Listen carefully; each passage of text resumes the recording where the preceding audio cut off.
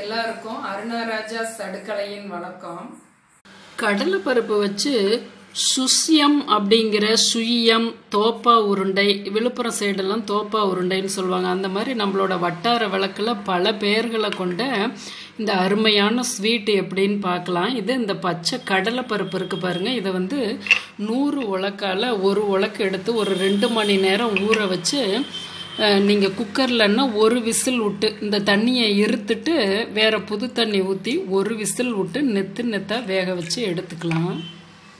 இந்த அளவுக்கு நம்ம ஆற வச்சு எடுத்துக்கலாம். அதாவது இப்போ இதை ஒன்று எடுத்து இப்படி பார்த்தோம்னா நல்லா சாஃப்டாக கையில் மசிஞ்சு கொடுக்கணும். இதோட நம்ம உலக்கில் அளந்தம் பாருங்க. அதில் முக்கால் பங்கு நசுக்கின வெல்லம் போட்டுக்கலாம். ஒரு ரெண்டு பிஞ்சு ஏலக்காய் பொடி போட்டுக்கலாம். ஒரு ரெண்டு டேபிள் ஸ்பூன் தேங்காயை இப்படி நல்லா வறட்டு வறுப்பாக வறுத்து எடுத்துக்கலாம். இந்த அளவுக்கு நம்ம அரைச்சி கெட்டியாக எடுத்துட்டு அந்த வதக்கின தேங்காயை போட்டுடலாம் நீர் வத்துற அளவுக்கு வதக்கணுன்னா போதும். இந்த நூறு பருப்புக்கு ஒரு டீஸ்பூன் நெய். இது எல்லாமே சேர்ந்து நல்லா கலந்து பிசைஞ்சு சிறு சிறு உருண்டைகளை உருட்டிக்கலாம். உருண்டைகளை இந்த மாதிரியாக சின்ன சின்ன நார்மல் சைஸில் உருட்டி வச்சுக்கலாம்.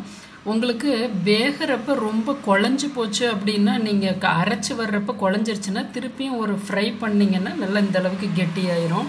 இப்போ நம்ம இதுக்கு மேல் மாவு நம்ம அன்றாடம் உபயோகிக்கிற அந்த இட்லி மாவு தான் நான் எடுத்திருக்கேன். புழுங்கல் அரிசியும் உளுந்தும் போட்டு அரைச்சி வச்சுருக்கோம் இல்லையா? அந்த இட்லி மாவு. இதில் ஒரு பைண்டிங்க்காக ஒரு அரை டீஸ்பூன் நான் வந்து கான் மாவு போடுறேன். இல்லாட்டி நீங்கள் மைதா மாவு கூட போட்டுக்கலாம்.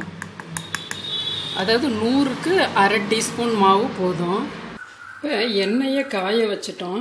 இப்படி ரெண்டு உருண்டைகளை இந்த மாவில் போட்டு இப்படி நல்லா துவைச்சி கையாலேயே எடுத்து போடுங்க. சிறு உருண்டையாக இருந்தால் நீங்கள் கரண்டியில் கூட போட்டுக்கலாம்.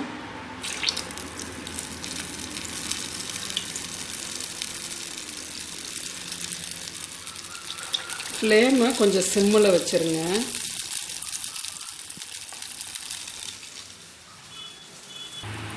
ஓரளவுக்கு ஆஃப் குக் ஆனோடனே அப்படியே திருப்பி விட்டுருங்க. நல்லா இந்த அளவுக்கு செவந்து வந்தோடனே எடுத்து தட்டில் போட்டு இப்படியே ஒன்று ஒன்றா போட்டு எடுத்துக்கலாம்.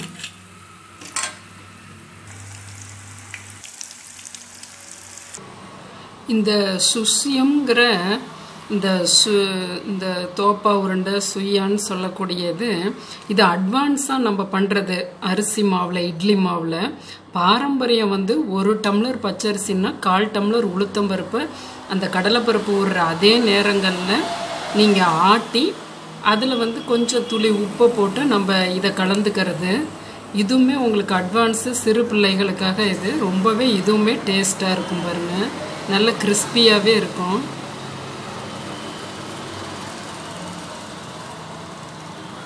நீங்களும் இதை வந்து செஞ்சு பார்த்துட்டு உங்களுக்கு ரொம்ப பிடிச்சிருந்ததுன்னா மற்றவங்களுக்கும் நீங்கள் ஷேர் பண்ணுங்கள் அந்த கான் மாவு கலந்ததுனால ரொம்ப வந்து இது வந்து இதெல்லாம் இருக்காது. சவு சவுன்லாம் இருக்காது. நல்லா கிறிஸ்பியாகவே இருக்கும். நான் சாப்பிட்டு காமிக்கிறேன் பாருங்கள்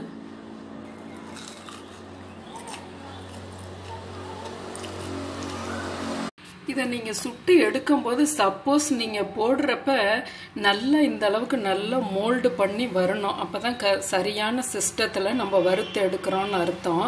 இல்லை உங்களுக்கு இந்த மாவு வந்து உள்ளே எண்ணெய்க்குள்ளே இறங்கிருச்சு அப்படின்னா அதுக்கு ரெண்டு காரணம். ஒன்று நீங்கள் அந்த கான் மாவும் மைதாவும் இன்னொரு அரை டீஸ்பூன் சேர்த்துக்கணும். இல்லாட்டி எண்ணெய் காய பத்தலை அப்படிங்கிற கருத்தில் வச்சுக்கணும். அப்போ இன்னும் கொஞ்சம் நீங்கள் கான் மாவையோ மைதாவையும் போட்டுக்கோங்க. இல்லாட்டி எண்ணெயை இன்னும் கொஞ்சம் ஹீட் பண்ணிவிட்டு அப்புறம் துவைச்சி துவைச்சி போடணும்.